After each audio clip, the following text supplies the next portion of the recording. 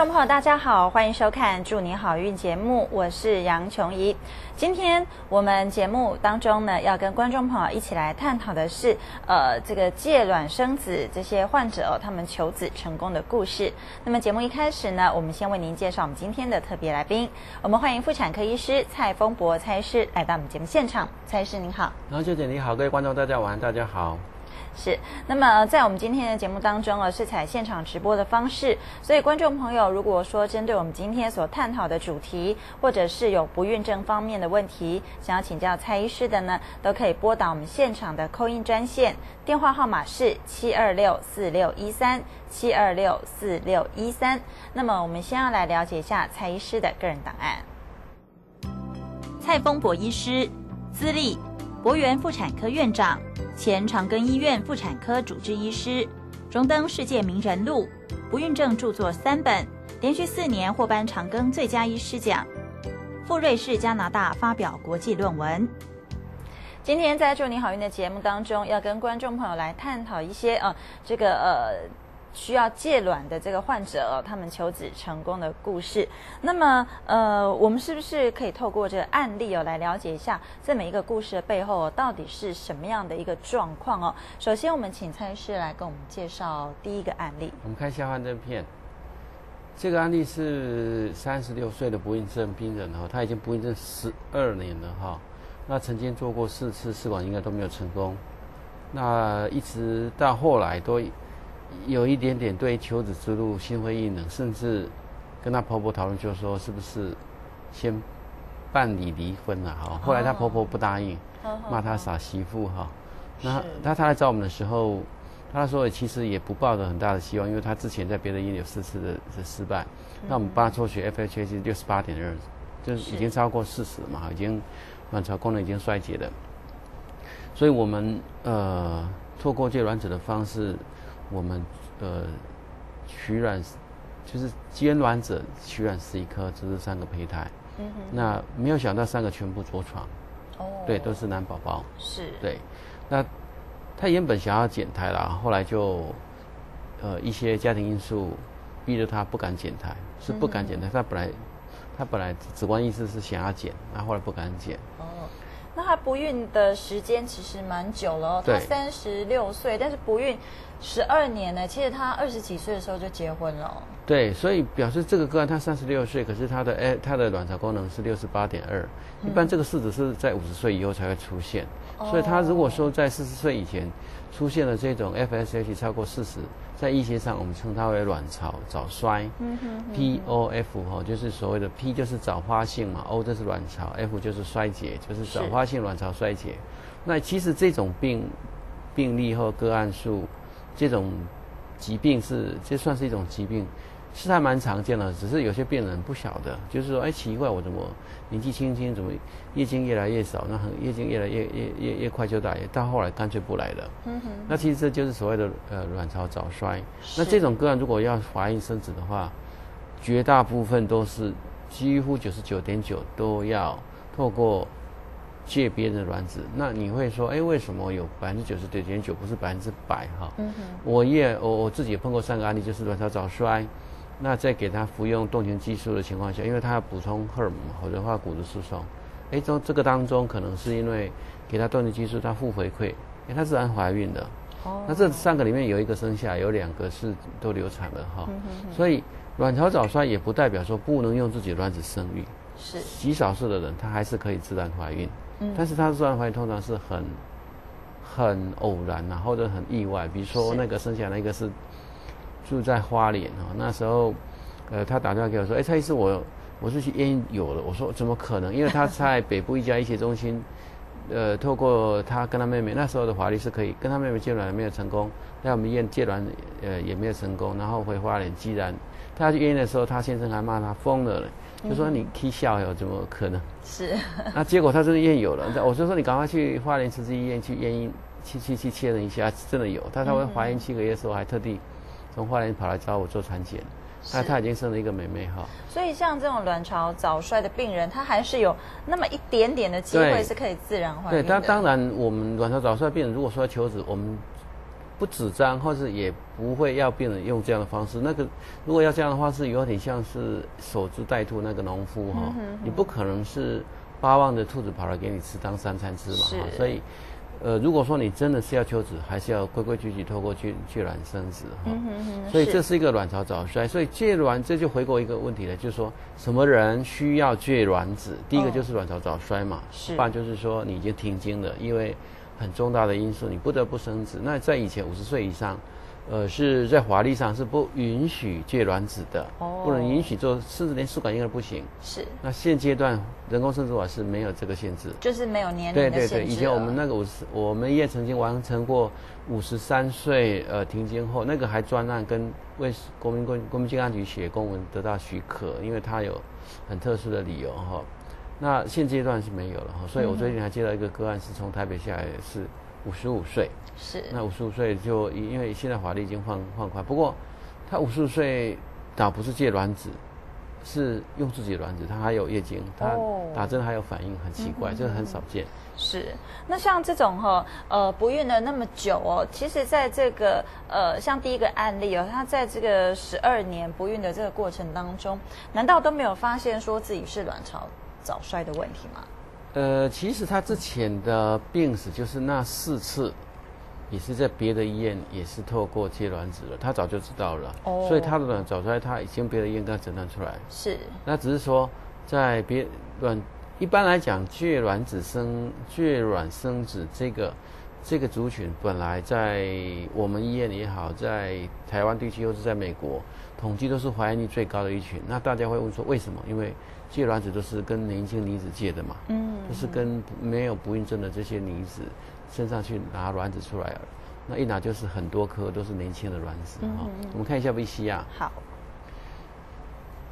所以如果说你有四十岁以前，哎，奇怪怎么热潮红了哈？就半夜无缘无故就是不要庆瓜哈，然后一阵子脸就一阵红，刚刚呃起起起起发红哈，那你要小心。如果说你加上你月经不来的话。你要怀疑你是不是有卵巢早衰，所以卵巢早衰有时候你必须要自己察觉，有时候不晓得呢。有时候卵巢早衰是我们跟病人说，哎，你卵巢早衰，有时候病人还还一头雾水，说什么意思叫做卵巢早衰？我们看一下段 V C 啊。是，所以像如果说哎月经不来又出现像有那种停经的症状，就要怀疑了哦。那这个是卵子哈，所以卵巢早衰怎么办呢？自己没有卵子，那就跟别人借。所以在做试管婴儿，我们常常有一句话就是卵子决定一切哈。那跟别人借卵子，只要有卵子就有希望，所以卵子在做试管婴儿里面是最核心的一个决定因素了哈，很重要。它它它它几乎是最重要的一个因素。是年轻的卵子，呃，有活力的卵子，数量过多的卵子，都是试管婴儿呃成功的，几乎是不败之。之基础哈，嗯哼，那有没有说哦，就是哎，明明自己有卵子，但是还是要跟别人借卵子的？当然有，比如说他本身，我等一下要提供一个案例，就是他本身有遗传疾病，所以回归到头来就是说，要借卵子就是年纪太大的啦，卵巢早衰的啦，或他本身有遗传疾病，不能用他的卵子去生育。嗯，那他有遗传疾病，不代表他这个人看起来奇形怪状哦。我我那个个案是很正常哦，可是他就是他的卵子。去去做试管婴儿，就是偏偏不能成功。那验了染色体才发现，他的染色体是异常，而且这个异常就是已经很确定他的卵子是不可能怀孕。那知道接卵子，我们看第二个案例。呃，就这个案例哈，她是一个三十三岁的一个小姐，那不孕症九年，那曾经在别的医院做过四次试管应该都没有成功，来我们医院做。那我帮她做第五次，哎，发现她的卵子也蛮多。那胚胎也不错，煮进去，哎，没有成功。我们那时候就有点压抑，我们就把以前的病例跟我们自己的病例，跟她以前带给我来给我的那些记录，我们反复思考。我就我就我一直在乖着，所以我就建议他们说，你们两个夫妻应该这个染色体分析。就是，既然被我猜到，就是太太染色体 X 染色体那边出了一个问题。嗯哼，因为他明明就有自己的卵子，对，他卵子很多，对，但是就不能成功。我们就跟一个杨教授染色呃遗传。专家杨杨教授，呃，讨论说这种情况下，可不可能用自己的卵子生宝宝？他说不可能，这个卵子不是说，呃，不是没办法怀孕，就是怀孕会流产。那我们把这个实情告诉这个病人，那病人第一个反应是生气。是。我说，他说我卵子这么多，而且胚胎不错，为什么要跟别人借卵子？嗯。那就几乎是佛袖而起，就差没有翻脸而已了哈。因为那后来怎么样能够接受这样的一个事实？对，那半年之后他又悄悄跑到门诊就蔡司，我想通了，我要借卵子，你帮我找一个。嗯，那我们就帮他找一个小姐，那去了二十颗，就是十四颗，本来还有胚胎冷冻，可是他这次就怀了双胞龙凤胎，是，所以他后来就把冷冻胚胎给销毁。所以这就是一个，他有卵子，而且很多，而且他年纪也轻，他也没有卵巢早衰，也没有什么其他的问题，可是他的卵子就是不能用。那这个不能用，这是一个，就是说它的卵子染色体，就是不是让它试管婴儿没有办法成功，不然就是流产。那还有一种情况就是说，假如这个病人，假如这个病人他是有重大的一个遗传疾病，他他不想把这个遗传疾病带给他的下一代，那这种情况下也可以借卵子了哈。那这我我这个病人不是这个这个情况，是。那所以这是一个啊比较特殊案例，就是说。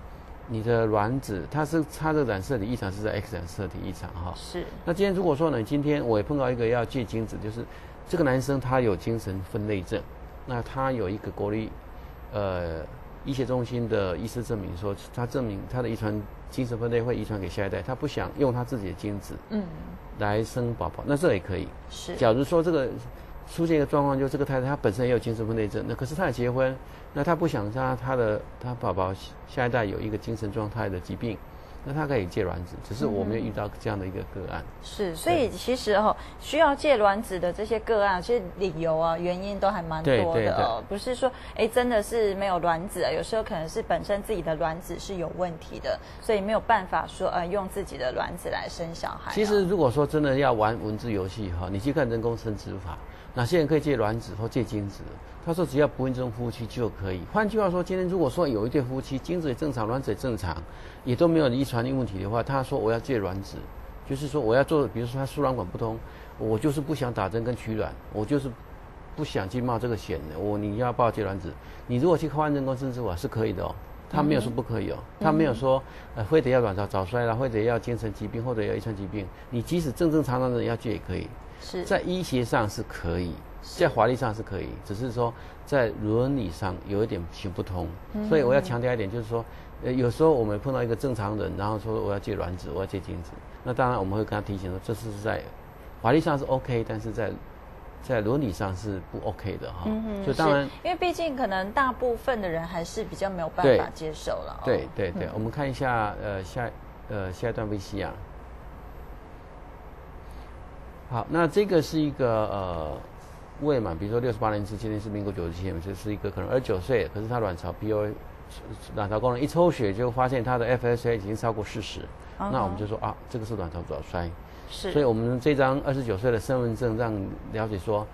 一个女人的年龄有两个，一个是身份证的，比如说这个六十八年制，她可能现在二十九岁，对，明明就很年轻。她抽血出来明明 f s 就四十，可是这个 f s 四十是五十岁才会出现的，所以 我常常会跟病人说，你的年龄有两种，一种是身份证。就是你生下来几年几岁就几岁嘛，就是不会变动的。可是你的卵巢的年龄是跟你的身份证年龄是不一样的，不一定会一样。很多病人，比如说我碰到一个二十六岁停经，我说你停经了，他说什么？我才二十六岁。我说二十六岁比二十我都还坑过二十二岁停经的，没有什么大不了的哈。没有什么不可能。因为法律没有规定几岁停经嘛，所以二十岁二十我碰过二十六岁、二十二岁停经的多的是。嗯，所以卵。才有所谓的卵巢早衰这个名词嘛，就是年纪轻轻不到四十岁就停经给你看，这才叫才叫做早衰嘛。嗯哼，也就是所谓的我们人打一个未老先衰嘛，哈。是。所以，之所以有这个名词，就是说你的衰老是。是早发性的，嗯，对。那其实哦，像我们的这个呃人的外表，哎，其实可以透过这个保养啊，然后来维持这个年轻哦的这种状态。但是卵巢有没有可能？哎，不可能，我们来保养一下。卵巢是一个，我常常说卵巢是一个败家子哈。怎么说败家子？说一个二十几岁的小姐，她每个月